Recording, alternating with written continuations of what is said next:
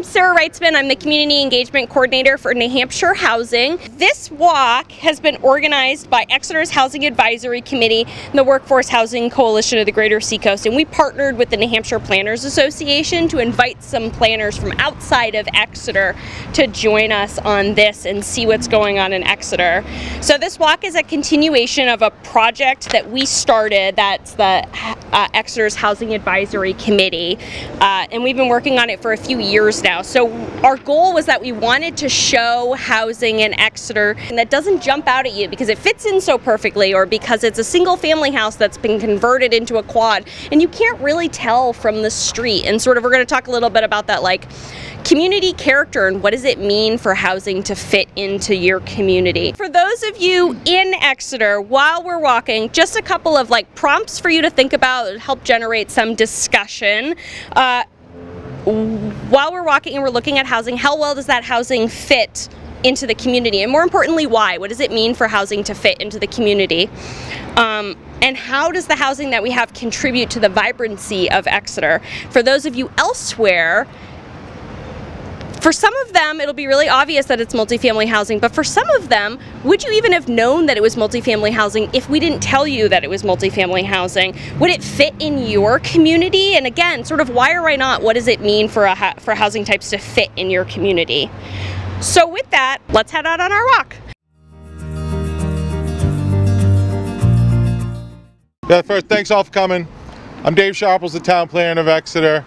And the role I'll play on the walking tour is stop and just give you some the same couple of facts, few facts for each of our stops. And one of the purposes is to understand density, what density looks like, and what the land productivity is. So I'm going to give you a couple stats and I'll, I'll explain them. But here, this is the first one. This is Exeter Mill. And it was a project that it was an old mill building that were renovated. And 143 units. It goes well beyond where you can see, goes down to the, to the lagoon. Uh, so 143 units on 7 acres, 7.01 acres. A density of 20.3 units per acre. In planning, we, we like to look at that for comparison purposes for, you know, how dense is it? You know, is it 20, acre, uh, 20 units per acre? Is it one unit per acre? A lot of zoning in New Hampshire is like, well, one, one unit per two acres or one unit per one acre. I mean, this is 20.3 units per acre. The value, the total assessed value per acre of this development is $3,359,900. That means the assessed value of this property is is a total of about, you know, what uh, like about 23 million dollars. You divide that by the acreage and you get about 3 uh, 3.35 million dollars of value per acre. That is like the I look at that as the land productivity, the productivity of the land. How how productive is the land? Because the less land you use and the more taxable value, the more productive that land is.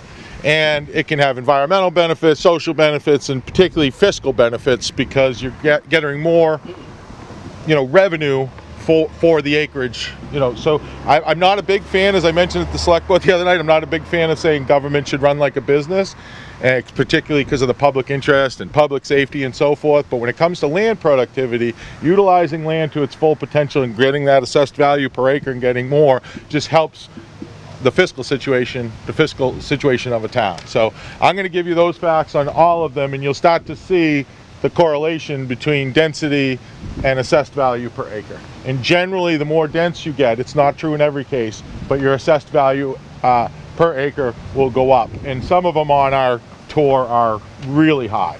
So we'll, uh, we'll talk about that at each one. That's all I got. Thank you. Awesome. And remembering our prompt questions, thinking about does this fit? It definitely fits in Exeter, right? A historic building, a, a mill that's been uh, reused. Would it fit in your community? Not every community has a, a big mill. And this is a sort of a big example of multifamily housing.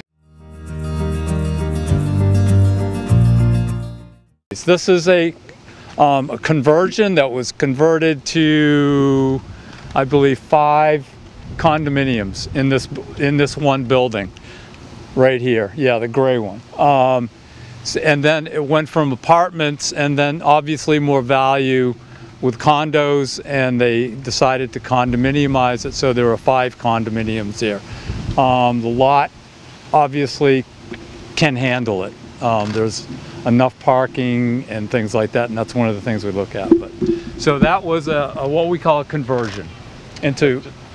Yep. Can I, can I just, no, just Yep. to color that in, although multifamily is not an allowed use in the zone, co- residential conversions are allowed, which allows you, as long as you meet certain criteria, you meet the dimensional requirements, you can supply the parking, you can, you can take a single-family home and create up to four additional units. So I mean, not four additional, three additional for a total of four. So you can make, that is allowed in the zone, well, maybe not five is allowed in the zone, but single-family homes, you can convert to four by special exception through the ZBA. It's not a, it's not a variant situation, it is allowed via special exception. You know, pretty interesting project. Uh, on the walk, it's the only single-family development we're going to see, and it's actually single-family homes, uh, but with a density that you don't usually see. And this is a 1.882 acre site, and it has 13 single-family homes. It's a condo development, so this is all maintained in common by a homeowners association, uh, and it has a value. It's seven point well, first 7.14 units per acre as far as density goes. So it's on the lower side, but a lot higher than most single-family home densities you'll see in other parts of town or the surrounding region. And uh, it's two million four hundred twenty-eight thousand five hundred sixteen dollars of assessed value per acre. So a little over two point four million dollars per acre of productivity in this. And uh, they sold out right away. Uh, and one thing, not part of the tour, but this is pretty unique. This is all porous pavement you're standing on. So the entire, the entire roadway in, you can just dump your water and it'll disappear. So one other thing about this this site, um, this um, is in a C one zone. So we changed the zoning here. This used to be a C two. We from the Portsmouth Ave lights to Walgreens, we changed to C one. Is that correct, Dave? So we so this is a commercial zone but we allow multifamily, uh, maybe it was an open space, no, but anyways, it was, oh, it's a permitted use. And the difference between this and the R3, the R3 requires 12,000 square feet of lot area per unit. Okay? In the R, in the C1, it only requires 3,500 square feet of area, lot area per unit. So that's why this was really densified. Okay, so it's a commercial zone, 3,500 square feet of lot area per unit. That was why we got, so each one of these, whatever the lot size was, we divided it by 3,500 and this is what they came up with. This, this is a pretty unique one so far because we, we haven't seen one of these yet. This is a mixed-use building. It has commercial uses and residential uses. Residential uses are here. Commercial uses you can see on the first floor. This is a great example of a mixed use. I don't, uh, you know, we don't have any history on it. I'd like to know what it was used before. Uh, but this is on a 0.09 acre lot. So it's just on a tenth of an acre. Basically, the building is the lot. Uh, it's got 44 units per acre is the density of this. And it actually, in this zone, you could add another height, so you could even add more value to this. I mean, you wouldn't because of the historic nature of the structure, but you know, it, it could be higher. And this is value value per acre on this is four million dollars of assessed value per acre. So one of the higher ones we've seen. Uh, and when no, this has uh, four units, six, four units over here, two over there, so total of six. And we, we are still, I think we're still in an R3 zone. We are in the R3 So it's a grandfathered use, all these are grandfathered. And we are now entering the historic district.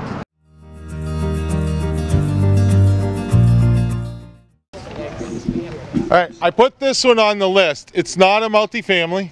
It's two commercial units. It's a commercial building with two commercial units in it. There are residential upstairs. They added resident. That's not on the know. assessing. There was did a, it. a counseling office upstairs Yeah. Elliot Berkowitz added uh, two apartments. Oh, he just added two apartments, so even better. Now it's a mixed use. That was not in the assessing database when I just looked the other day. But anyway, two, two so now it's four units, so it's probably increased in value. But this was part, we did this as a, a charrette with Plan New Hampshire to try to figure out affordable housing and what could fit here. There were various options and at that time they came up with the, the most feasible option was 26 units that would fit potentially on this site. Uh, nothing's came of that yet, but this is in the MUND, which is the mixed use neighborhood uh, neighborhood district. And just want the reason why I want to show this because this is in the MUND, and what you can do in the MUND is if you do mixed use, there is no density requirement whatsoever. You have limiting, you have a few main limiting factors to growth, and it's usually density, you know, what's allowed per acre, height, and parking. So those are the kind of three, and you always bump into one of those before you bump into the other two. So there's really in my mind, you know, you don't need all three because you're going to run in. So we removed density as a restriction and said, okay, as long as you can park, and we reduced the parking to one spot per unit instead of you know the one and a half, two, however the calculations work. So only you only need one spot per per residential unit, and the planning board has the ability to waive 100% of that parking requirement. They don't have to go to the zoning board of adjustment if they can prove that there's off-site parking or either at another site that they've secured through easement or some legal instrument, or there's available on-street parking that's not being currently utilized that could accommodate the the residents there. So. Uh, that we're, you know, this is a definitely a potential project under that ordinance. And just wanted to show you that. And this this site, it's for uh, 0.46 acres, about a half acre site. And the density right now is 4.3 units per acre, but it's probably more like eight or something now. they found out about these two apartments and the value is $2 million an acre at the moment. But think about if you did a MUND here and you could go back and do 26 potential units here. I mean, you, you could get, you could quadruple that assessed value per acre. Got, you know, five stories, kind of one's at grade, like a little bit below grade in the front, but there is a five-story building. I'd probably say this is close to 50 feet in height. That's what the allowable in the zone. This one has 24 units on a third of an acre. So the density is pretty high here. It's about 70.6 units per acre. Uh, includes commercial uses. Uh, the assessed value of this is, is about $4.7 million. So pretty, pretty good assessed value, mixed use. Uh, the benefits of this, like what we're showing you, we you know, on a walking tour, we can't take you out into the, you know, out into the uh, rural parts of town. But just so you maybe get a frame of reference when we're talking about assessed value per acre, if you look at most single family subdivisions that are one and two acres, you're talking about an assessed value per acre of about 150,000 to maybe like 285, 285,000. So when we're sitting here talking, you know, 4.7 million, 2 million, 2.4 million, you know, as a frame of reference, usually your single family developments are, you know, in the hundreds, are, are in the hundreds of thousands, somewhere between 150 and 300 on average in Exeter. So these are, you know, 10, 20, you know, 50 fold, some of them that we're going to get to as far as, as value and land productivity.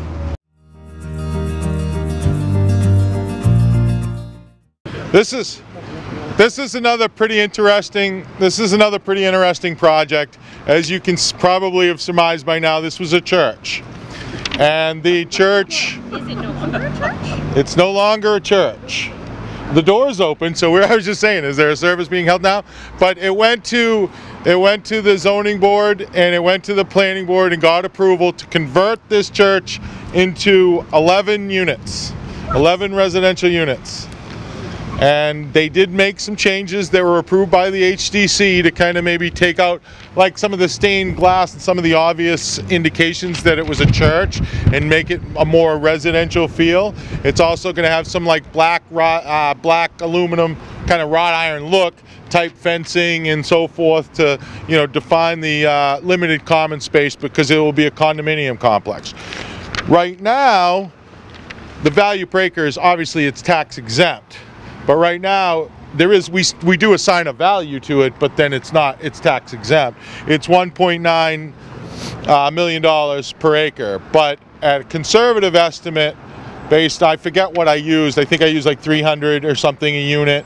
Uh, this will be $15 million of assessed value per acre. And then the beauty about this project is we've, we're going to add 11 units, but we didn't add, we didn't add one drop of st additional storm water no additional nutrients flowing into the thing. They actually did a little bit to, you know, to, to make the situation better. No trees needed to be cut down. It was on existing site. No wetland buffers or wetlands are impacted.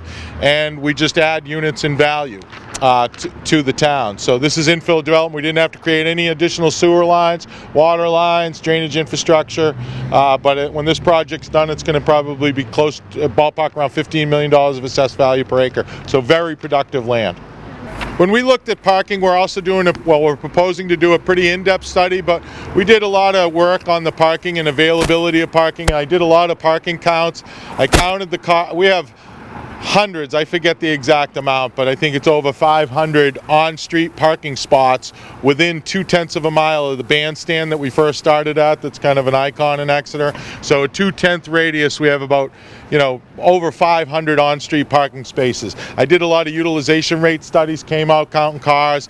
I mean, while there's some spots that, you know, are, are pushing 85 to even 100% utilization rates. Those are like down by the commercial. Uh, but up here, you know, for example, you turn around, you got Elm Street right there. It has 43 on-street parking spots that get about probably a 90% utilization rate during the day from PEA, but then at night it drops to 5,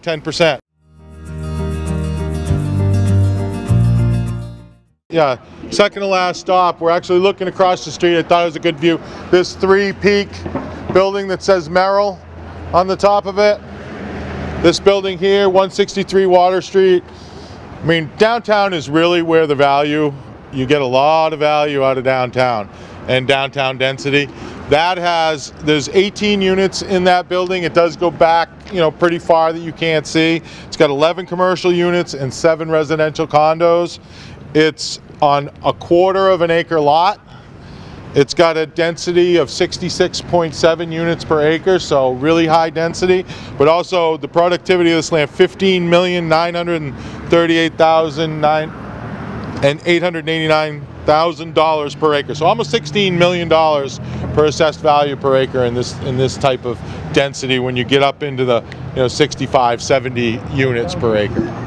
So generates a lot of revenue for the town, commercial uses, mixed use, residential. It's not affordable.